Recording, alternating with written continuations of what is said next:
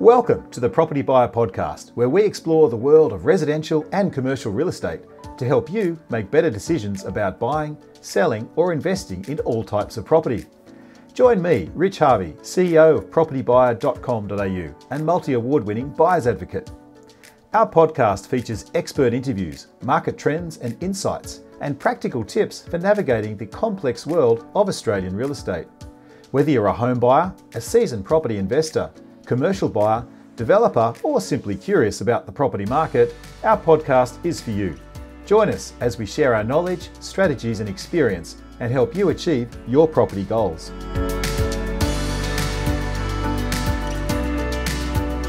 Well, welcome to our next edition of the Property Buyer Podcast. We often hear about people who've been successful in building up a substantial property portfolio, and we often dream about being in that position ourselves. We think to ourselves, how did they get there and what tactics did they use? Is it really achievable to get a portfolio given that property prices are getting higher every day and the banks are still really tight with lending standards? We dream about how it would be to take the pressure off having to work every day, having less stress, and a life without money worries. We might think about the satisfaction of having assets that grow while you sleep and being in a position to help your kids and be generous with others or be philanthropic with your money. Well, today you're in for a treat. I'm about to interview a highly successful property investor who's built a substantial portfolio and freely shares his knowledge and experience. Jeremy Iannuzzelli is a founding partner of KHI Accounting Group. Now, using a combination of investment strategies and tax effective structures, Jeremy has a passion for helping investors acquire and hold more wealth and helping them well into retirement. Jeremy, great to have you on the podcast today. Welcome. Yeah, thank you very much, Rich. Absolute pleasure as always, mate. Now, um, Jeremy, we have a little strange tradition, and we like to ask our guests um, a thought of the week. And this week it's from Johann Wolfgang von Goethe, who says, Whatever you can do or dream you can, begin it. Boldness has genius, power, and magic in it. What do you take from that quote? Um, it's a it's a great quote that talks about not just dreaming, but turning your dreams into reality. So taking action. Uh, we've got a motto, and, and, one of the partners in our office and the best friend of mine, Manzurul, always talks about dr- dreaming it, believe it, and then acting it. Mm. Um, it's all well and good to have the the great plan in your mind, but you've got to find a way to execute it. And it even starts with just a little thing, um, like how to eat an elephant, Rich? And the answer is always one bite at a time. One bite at a time. Yeah, execute it. I love it. I think you sound like an action orientated man. It sounds like that's a bit of a culture in your business, right? Absolutely. Yeah. We yeah. always live always live by the motto that to achieve greatness you need to stop seeking permission and take an action. Yeah. Um, so for all of our colleagues, you know, we always say be bold. Mm. Be bold and be daring and, and don't be afraid to ask that question because without it, you or other people won't be able to learn. You won't be mm. able to take a step forward. Mm, brilliant. No, that's fantastic. Well, Jeremy, can I take you back to um, to where it all started? How did you actually get started with property investment, and, and I guess what was your key motivations to get going in property? So I was very fortunate to obviously start in, in accounting as a professional career at an early age. So, you know, the age of 18, 19. And I was lucky enough to deal with a lot of high net wealth individuals at the time, people who were investing in property. Um, when interest rates were much different when they were today, Rich back then eight nine percent was a normal interest rate in the yep. uh, mid two thousands. Yeah, but but seeing these people really starting to create wealth and and managing their money and, and buying property and at that stage property was at relatively good prices. Although back then you always say that it was out of reach. So for me, seeing these people actually do it was enough motivation for me to start learning about it.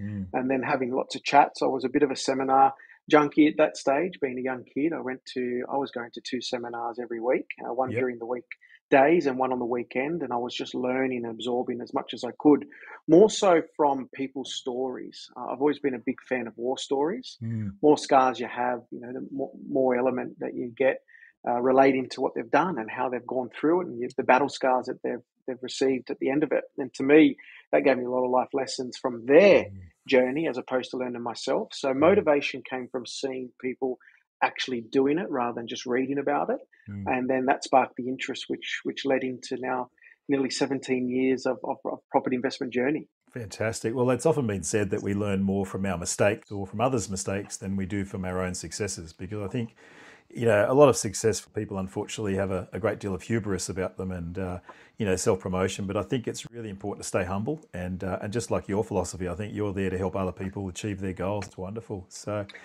yeah, look, talking of mistakes, um, tell me about some of the biggest mistakes that you might have made and, and perhaps what you learnt from them. See, I'm, I'm going straight there, mate. I'm right. Yeah, no, that's, no, it's, it's, it's good. And I share this all the time with a lot of yeah. people. Look, being a, a, younger a younger man with no grey hair at the time and a little bit of experience, or I thought I had a lot, but really back then, looking back with hindsight, there was no experience. Mm. For me, Rich, I built my my portfolio, my idea of a great portfolio on the number of properties that I had, as opposed to the quality of the properties that I had. It was always about the quantity, mm. and I was buying crap. I was buying cheap property at the time, um, just for the sake of getting a number. I wanted to mm. get to 10 and I wanted to have the quickest way to get to 10 properties was to buy cheap and crap. Mm. And uh, it wasn't the, it wasn't the you know ugly duckling in a good area. It wasn't a good valued property. It was just anything I could get my hands on uh, that was cheap and I could borrow. So I learned quite quickly that when I was buying these very regional properties or you know very subpar townhouses at the time, um, the number was what I was aiming for, not the quality, and therefore I got bidden quite a bit. When did the um, when did the penny drop for you that you needed to shift your focus from quantity to quality in your portfolio? So, so the repair. So uh, being an accountant, I always like to look at percentages and ratios. Yeah. And when you're buying a hundred twenty thousand dollar property and a new roof needs to be put on it, which costs the same amount as a new roof on a five hundred thousand dollar property, all of a sudden my repairs and maintenance or my potential renovations at the time was adding up to 20 to 30% of the property's cost price. Wow.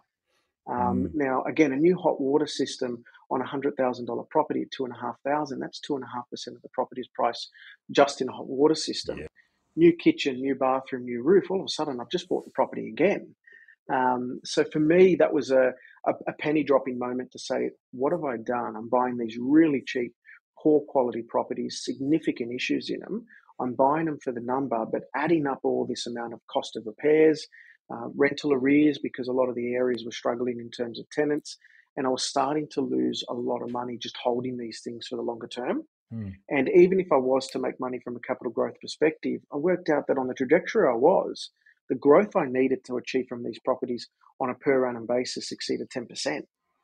And you know, we, we all aim for that seven to ten percent growth in the property market. And if I'm spending seven to 10% of the property's value in repairs, I'm not really moving forward. No. Uh, so that was a bit of a pivot point in my portfolio mm. years on. And I started to really clean up and sell off a lot of those properties and, and move into better quality properties where there was an X factor attached to it. And that was probably the biggest lesson that I learned was Jeremy, property investing isn't just about a number of properties, it's also about the quality.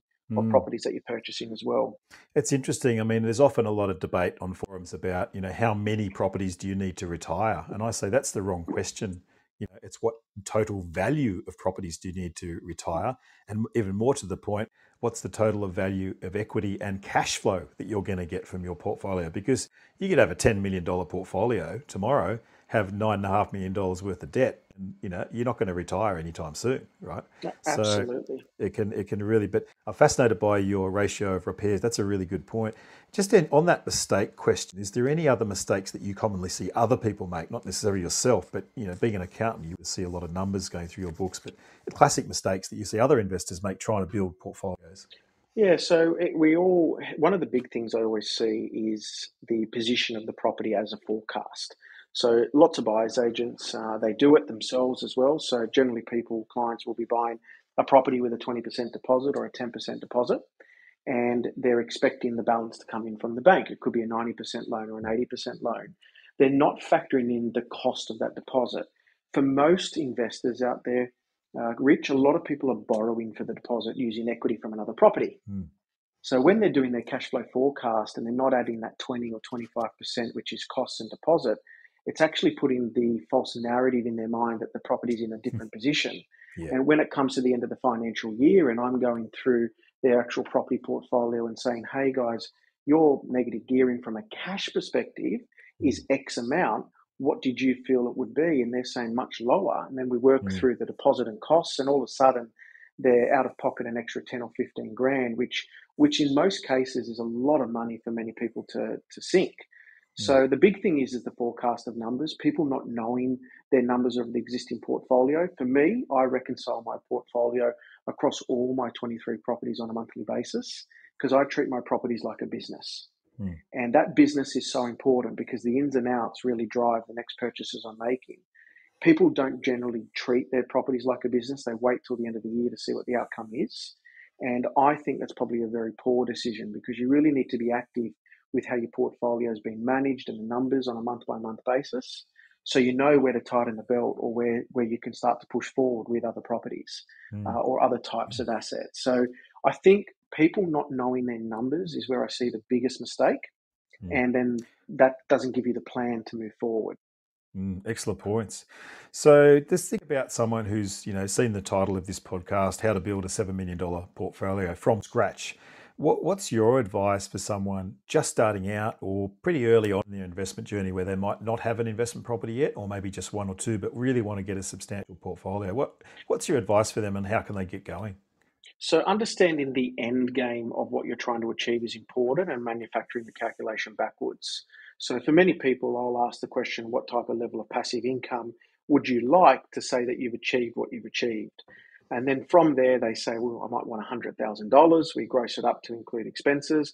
And that means they're going to need about a $2.5 million portfolio, roughly fully paid off to get their 100 grand after expense income. Yep. Then what I really do is I say, guys, you then need to sit down with a mortgage broker and share that vision with them. Because if your peak borrowing capacity is only 1 million or 1.5 and you need to buy $2.5 million worth of property, how are we going to fill that gap? So the lending strategy is so important. I probably pay more emphasis to the lending strategy early on in your portfolio. So you're getting it right and utilizing your professionals as a journeyman as opposed to a transaction. And I think that's the biggest key because a lot of people start planning when they hit a roadblock. And the plan should be done at the very start and and just implementing it. One of the biggest things is don't become too too paralyzed by by analyzing numbers. I feel there's so many forums out there now and and so many different media publications and my my my social media rich is filled with with mm. so many people's different opinions on how to get to the same outcome. I sometimes feel that you've got to really find your own path Mm. And your own path comes from the knowledge that you gain with the professionals around you so you can achieve what you're after. And mm. that's done at the start, not done when the roadblock occurs. Yeah, I love that. I really like that. Understand the end. Exactly what, you know, one of my mentors who I've never met is Stephen Covey, who said, you know, begin with the end in mind. You know, so if your end goal is literally, you know, 200K worth of passive income, you know, you're going to need to be pretty close to $5 million worth of unencumbered property to, to deliver that. And, uh, and you're absolutely right, getting the right advice around the team, so the right accountant, the right buyer's agent, and particularly the right mortgage broker who's investment savvy is absolutely critical. Um, and then considering what kind of strategy, like you say, there's no one size fits all. And a lot of people get hung up about picking a strategy. You know, at the end of the day, there's multiple strategies that can get you to this point. But some people agonize over them for years. Meanwhile, the market's moved up 10 or 20%. You know, just pick one you know, and go with Absolutely. it. Like, you know, some people get that analysis paralysis disease and just can't move forward, you know.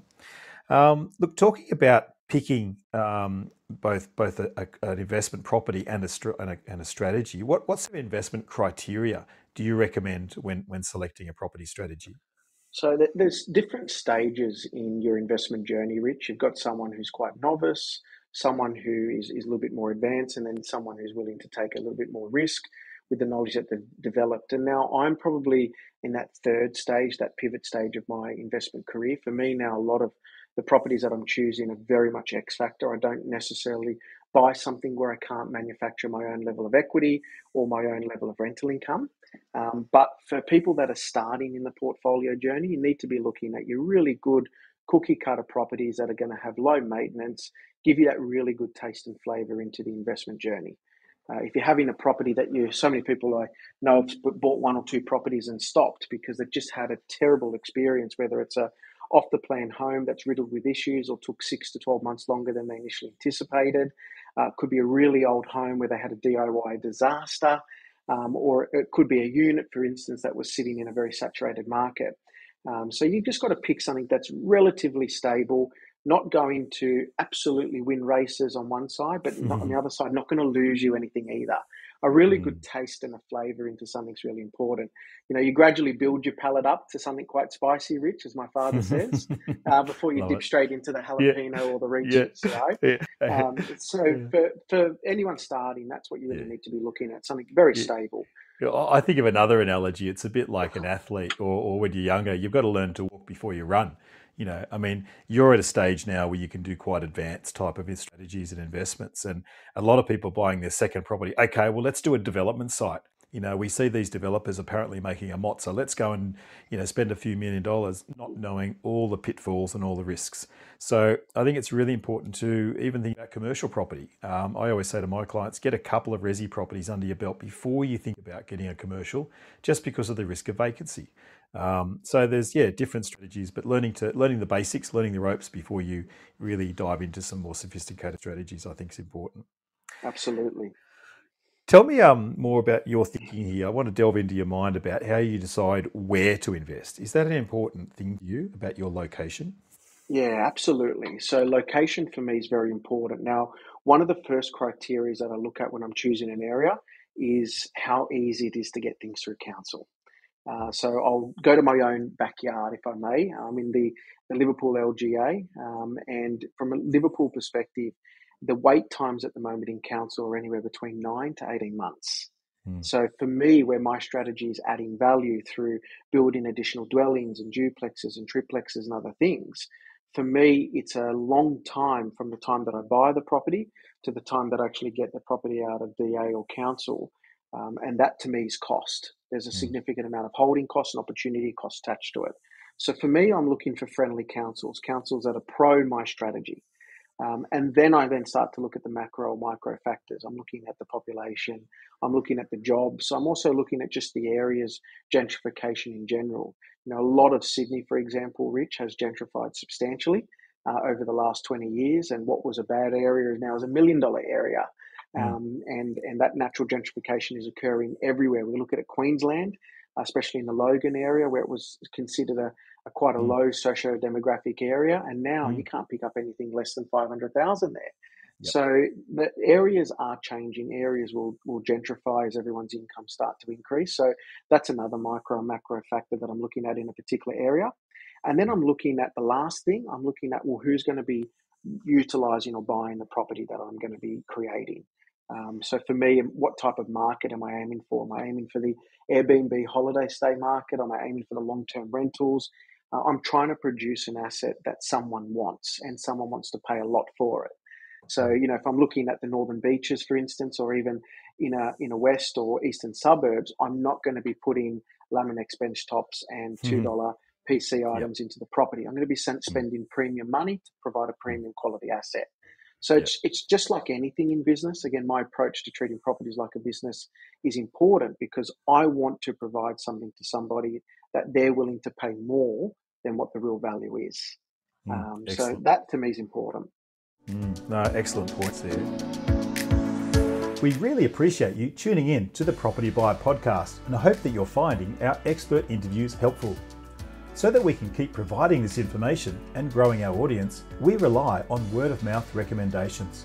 If you found this information useful, could I please ask you to share this podcast with your friends, family, and colleagues and ask them to subscribe to the Property Buyer podcast. It would be a big help and we'd be very grateful for your support. Thanks once again for sharing the links. And now let's get back to the podcast.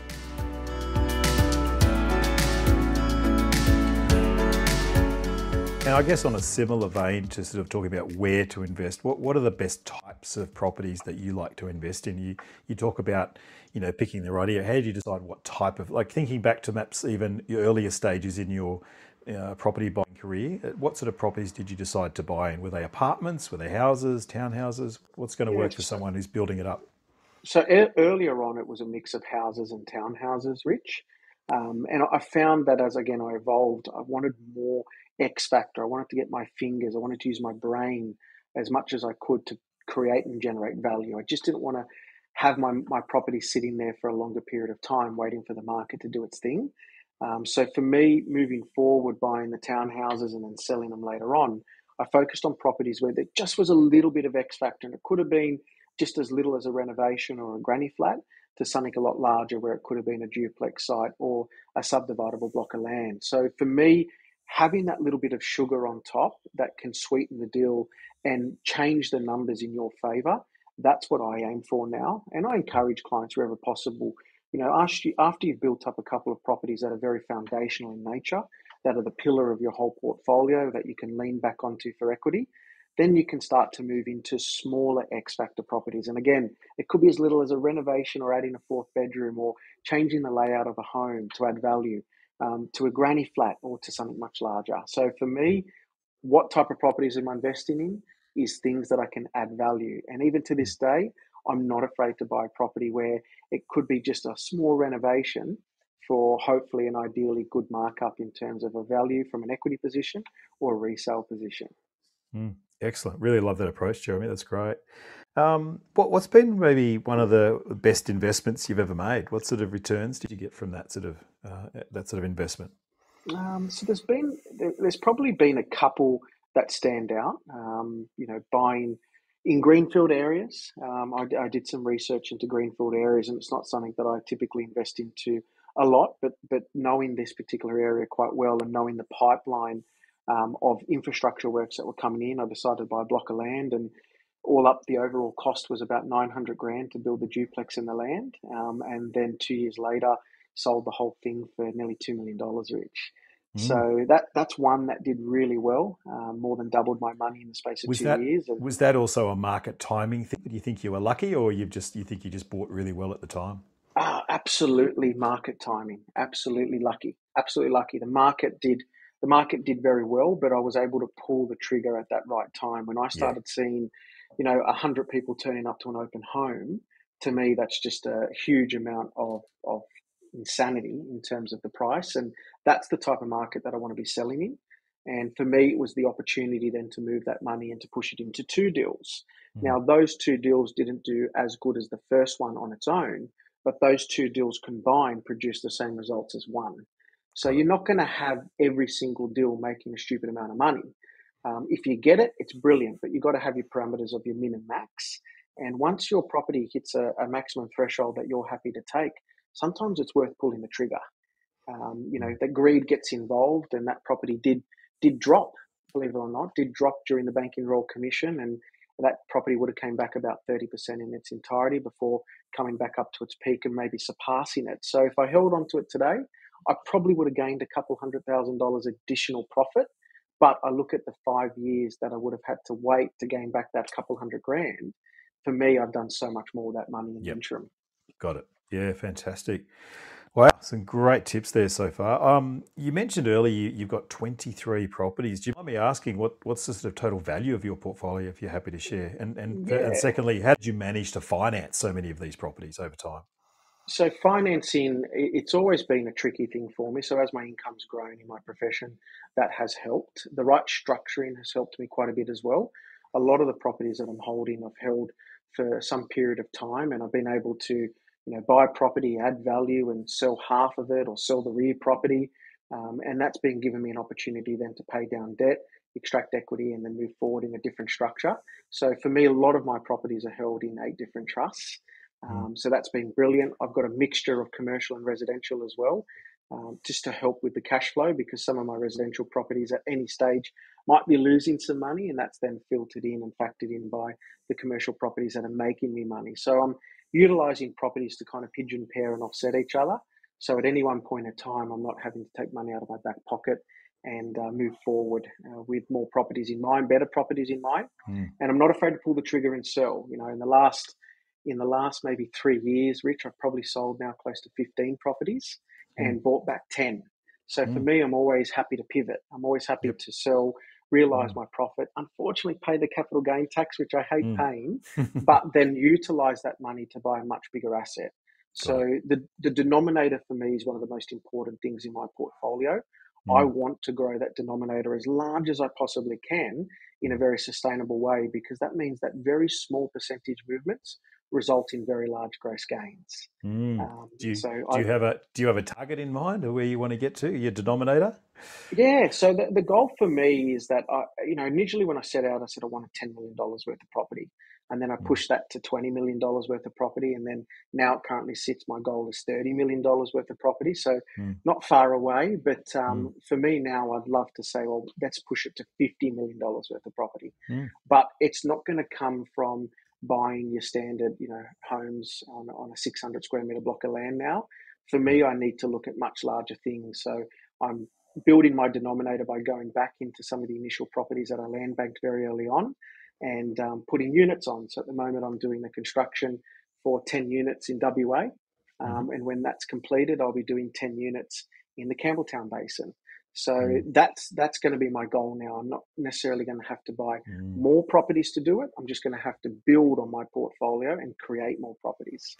Fantastic. I'm just going to unpack a few things there because you just gave some fantastic advice in the last two minutes that I want my listeners to really understand. So, you know, when I asked you how did you finance so many properties, so firstly you said your income increased. So that's one tip I say to people keep improving your skills, keep improving what value you have as a person because you can't just always close the door on the boss and go property investing. You need a you need a regular income in order to be able to service your, your properties. Secondly, you said holding your property. Some people are too quick to pull the trigger. Um, but secondly, thirdly, you also said you trade some, and that's great. You're recycling your equity into a bigger and better opportunity. And I think that's the a key thing there is that if you look at what you've got in your portfolio and you go, you know what, I can refinance this property, pay down a bit of debt here, but I know I'm going to get a much greater return by buying this other property here that's got development potential, for example, than doing that. You also said um, you've got a mix of resi and commercial, and that really helps you to cash flow your whole portfolio. Um, and I think maybe that's another question for you. We see a lot of investors get stuck on just buying one investment property. How can the average investor achieve multiple properties over time? How can they can they get that cash flow to sustain buying multiple properties? Do you think? Yeah, so you've got to look outside the box. You've got to think at the real value of your property and what the market wants. Um, so, is it a short? Is it really good short-term rental property? Potentially, it might be a really good long-term rental property. What is the market willing to pay for? And then you provide that to the market. Uh, and the other thing I'm seeing quite regularly now, and I adopt this in my own portfolio, is the use of the right structure, Rich. Mm. If you can get the properties into the right structure, there are some banks which do favour um, the way that some investment properties act with inside certain structures like trusts.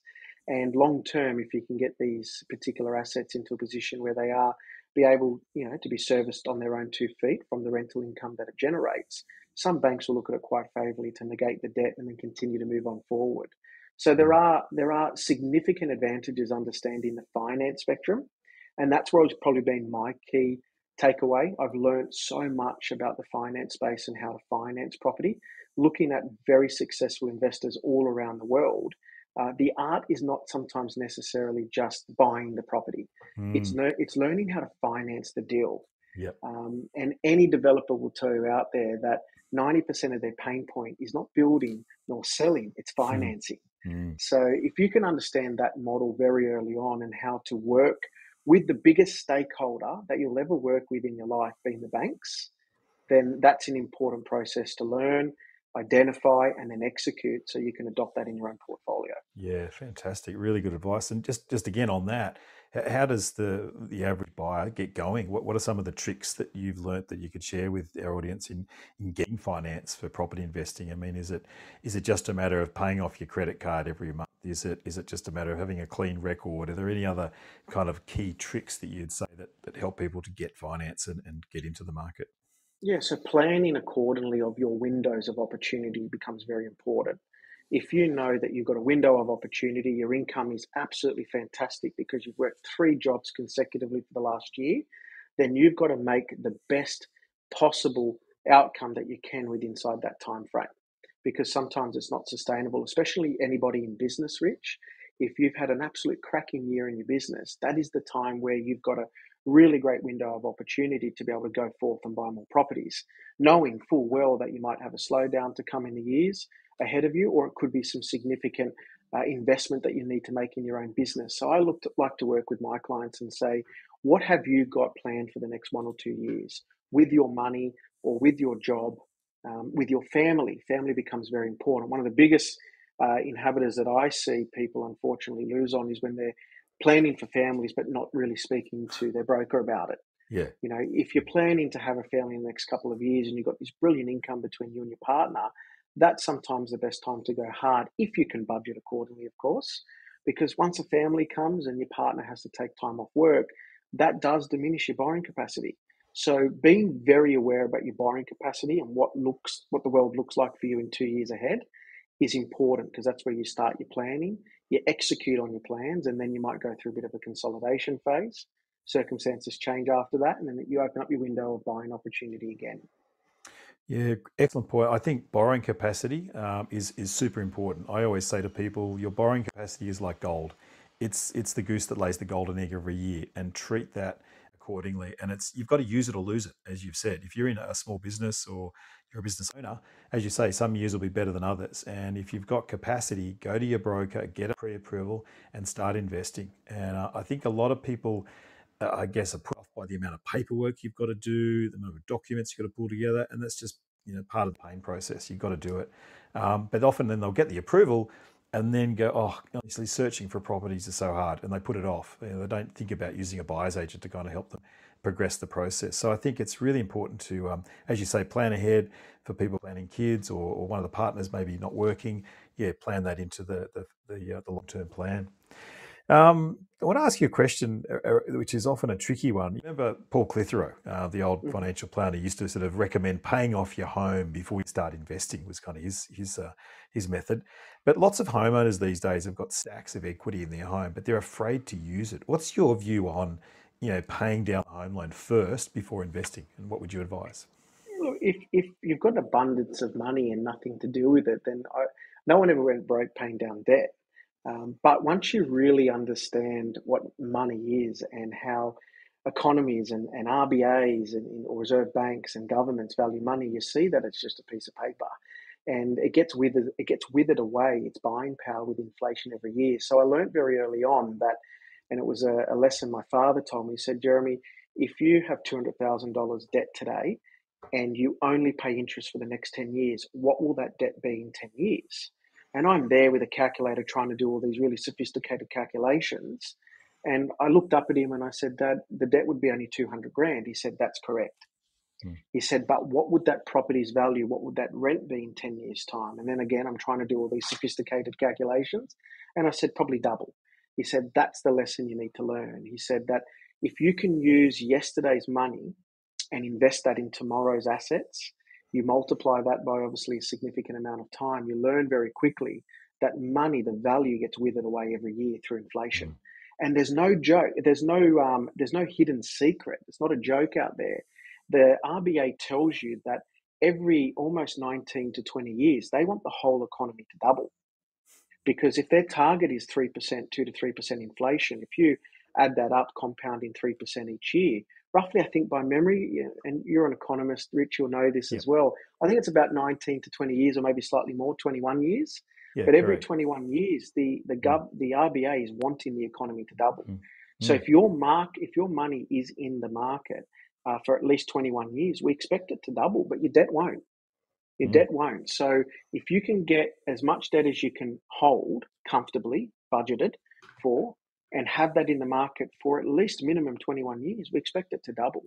And once I kind of got an understanding of how how money and how fractional lending works and, and the mechanisms behind it, I learned very quickly that having my money paying down debt and not being invested in assets, once that debt's paid off, your, your property is moving in the market, but you already had that property already. Mm, so, what will my value and what will my money look like in 10 years if my debt stays exactly the same? So, for me, mm. I, I know and understand now how money works and what governments around the world are wanting money to do, and that's every year have less ability to continue to purchase more goods, and that that for brings therefore brings inflation. Mm. Yeah, I mean, I'll do it on another podcast, but I've actually analysed some stats uh, the other day, looking back over the past 25 years, and um, the average median uh, average growth rate, I should say, for Sydney and Melbourne has been roughly seven and a half percent per annum over the last 25 years. And if you take Sydney's median house price of, um, yeah, say, approximately $1.5 million, in 25 years' time, Jeremy, guess what the median house price will be in Sydney? Yeah, no idea, It'll, Rich. it'll be $7.9 million. There we go. so that's just mathematics for you. Simple as that. And people are going, what the hell? Uh, uh in 20 years' time, it'll be about five and a half million. But even even jumping from 20 to 25 years ago, from five and a half to 7.9, it's just dramatic. The, the rate of compound growth. I mean, Albert Einstein said it was one of the seventh wonders of the world. Um, you know, and that's the thing about being in the market. And the longer people put off building a portfolio, the more behind the money they're going to be. So um, I've got another one for you. Um, putting your accountant's hat on. What if you had a million dollars in equity today? What would you do with it in today's market? And let's assume you don't have a big portfolio. I'm just want you to go back to being a, a sort of a more beginner investor here for our audience. What what would you do with that money? Do you think? So one million dollars today, if I had it in today's market right now, mm. I, I. I'll be a little bit against the grain on this to many, mm-hmm. you know, property enthusiasts and property advocates out there, but I actually feel the best market to be in if you can afford the negative cash flow. Very important as a disclaimer, the negative cash flow mm-hmm. uh, would be the Victorian market. Um, a, a lot of my understanding at the moment is when I'm looking through a number of properties is it's very near its pre-COVID value. Um, it just didn't have the bull run that a lot of the other states mm. did during the COVID mm. pandemic because yep. they actually had a negative population growth. Exactly. Um, and it is changing. We've, we've I just heard on the radio uh, the other day that 316,000 migrants came into the country settling between Victoria and New South Wales. Yeah. And now Victoria's population is starting to show positive growth um, numbers and figures which means that there's going to be a little bit more stretch and a little bit more pressure being put onto yeah.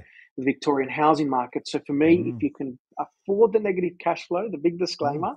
yeah. um, I I think for me right now, one million dollars would would be very suited in the Victorian market, especially in those inner rings around the city. So, Jeremy, we didn't talk before we had this podcast, and you have amazing ESP, but I would 100% give you a gold star for that comment because I was actually just talking to a group of bankers earlier today, and they were asking me, you know, I showed them all of the, the stats for the last 12 months and, and which markets have grown, and, you know, Perth's done 18%, and Sydney's done uh, 10.5%, Brisbane's done 12.5, etc.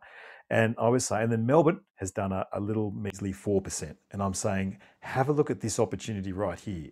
So picking the future winners doesn't mean picking the highest percentage growth in the previous years. It actually, exactly as you said, there's a thing called a reversion to mean. And there's also key drivers in different markets. And I totally agree with you that I think Melbourne is an underrated capital city for capital growth, um, but it's not getting the yield. And that's the issue you've got for a lot of investors. And yes, the Victorian government's imposed a slightly higher land tax. I mean, it's marginal, it's not the end of the world. But um, if you can afford the negative gearing, I do think agree 100%. Melbourne is great for longer term capital growth, you know.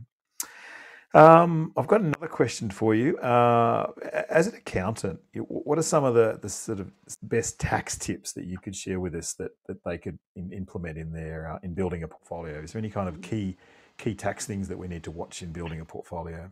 Yeah, so it changes from time to time. So depending which market you're in and interest rates at the time and how your property portfolio is performing, my I like to tailor um, you know people's situations quite differently. But a couple of the key things that I'm working with at the moment with many clients is while cash flow is a little bit of a struggle at the moment with these higher than COVID rates, I, I always believe the rate at the moment, while we do, it is high, it's not the highest I've seen mm. as an investor my first property I purchased, there was an eight in front of my interest rate, and that was cheap mm. at the time.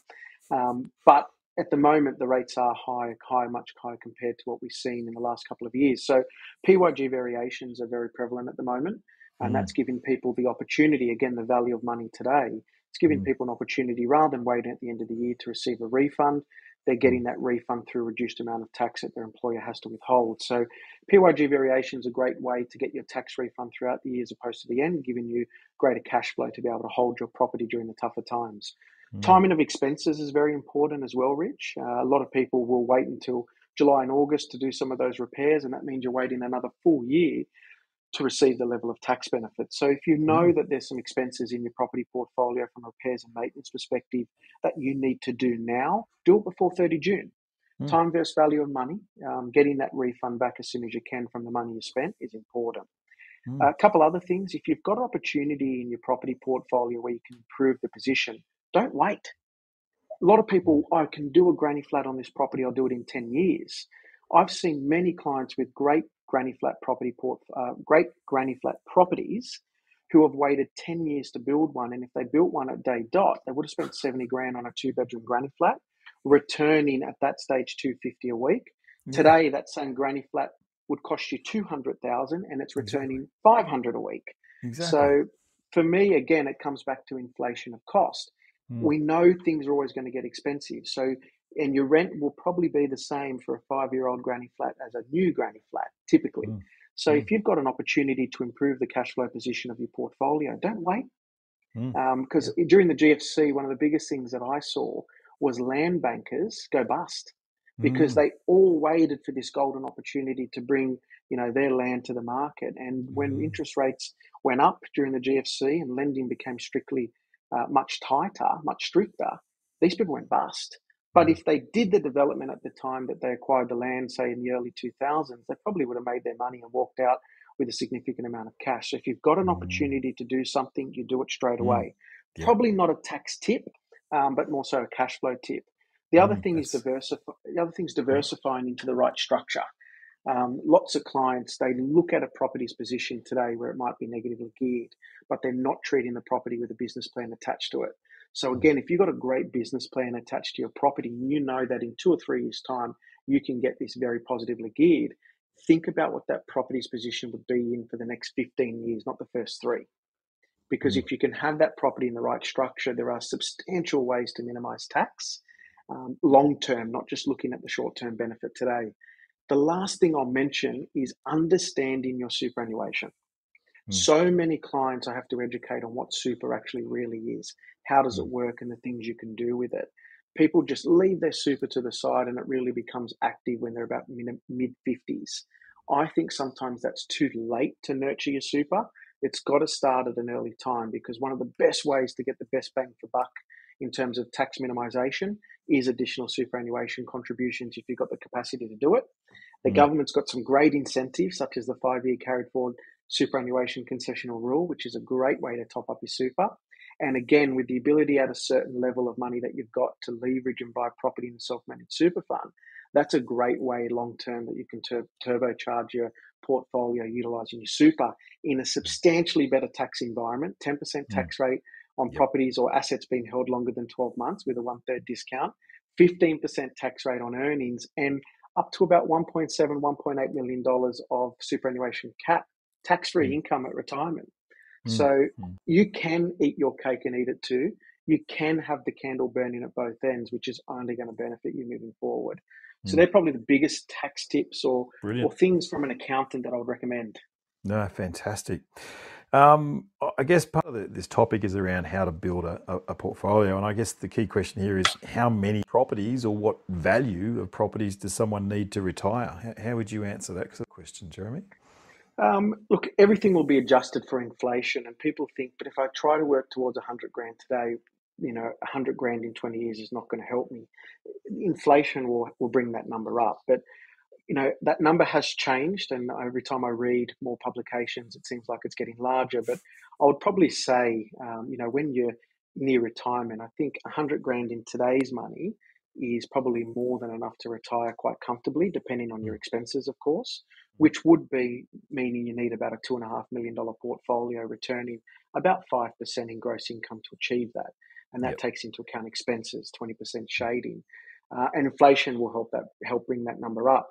People mm. tend to forget, Rich, that when we get older and having older grandparents now, we don't need a lot of sustenance. We don't need a lot to enjoy our life. We can't, mm. you know, my, my grandfather recently passed, he passed away, God bless his soul. But I mm. remember when I first bought a sports car, it was a Mustang at that stage many, many yeah. years ago. Mm. Um, he was in his early 80s then, and the poor bugger couldn't get in and out, in and out of the car. So the chances are you don't need a Ferrari in your retirement because your walker won't fit in the front seat. So I think exactly. it's understand understanding what retirement looks like for you is quite important. And that what if you get a Tesla? What if you get a Tesla truck with a special lift for the wheelchair, mate? Then you can. uh, yeah, definitely, mate. With the cost of electricity these days, I don't know if people can afford to fill those things up with the electricity. um, but but I think that's important. Knowing what your retirement yeah. will look like or want want it to look like is mm. important. Start the way you want to finish and have that mm. end in mind, mm. and you'll find that your number that you need is not as much as you think. Okay. Um, a lot of people yeah. set their goals too high, mate. They're on a 150 grand income and they want to retire on $400,000 a year. Yeah. Yeah. You're not spending that much money under today's circumstances, so the chances are you won't need that. But it's good to it. strive for it. Yeah. It's definitely good to strive for it, but it may be just a little bit, a little bit out of your reach. Got it. Got it. And is it is there an age where I guess property investing stops making sense? Like for people in their fifties and sixties, is, is, it sort of make sense for them to think about building a portfolio, or have they left it too late? No, no one's left it too late. Um, there, there's never an age to stop investing, investing in property or investing in whatever you wish to, but it comes back down to what you want from your investments. Um, typically speaking, and very openly, I see a lot of people pivot away from property in their later stages of life mostly residential to cash in on their capital growth. And they're yep. done with the headaches, they're done with having to fix kitchens. And then they pivot maybe into a little bit more of a cash flow investment, which has got low maintenance. Mm. So you, you, your goal is is between now and retirement, you've got to get as much growth as you can.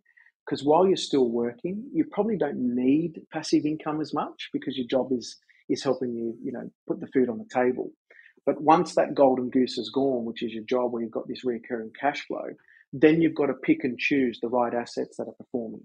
So mm. I'll give you a great example, Rich. I've just got a, a client who we worked with over the last couple of years. He had a $30 million unencumbered property portfolio, no debt.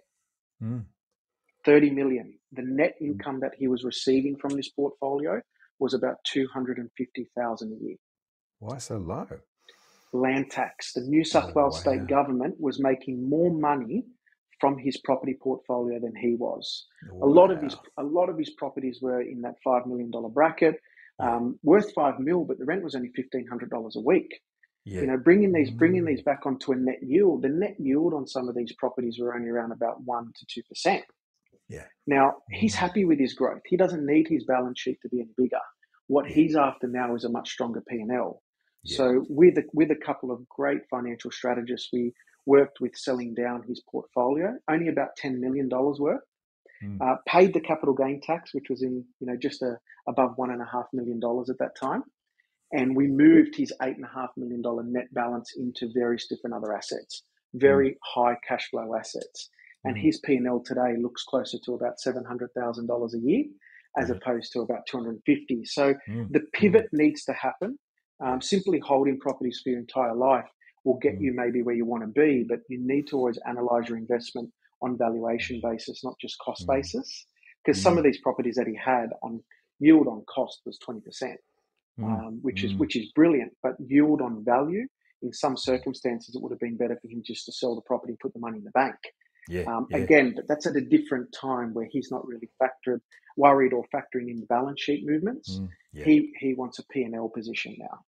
Got it. Fantastic. Well, it all points to getting professional advice around uh, at the various stages of your life. You know, don't try and do it alone. I think it's a key message here. And Jeremy, you've given us some wonderful advice here. Can I just uh, pick your brain one last time and ask you to share perhaps the best piece of investment advice that you've ever heard?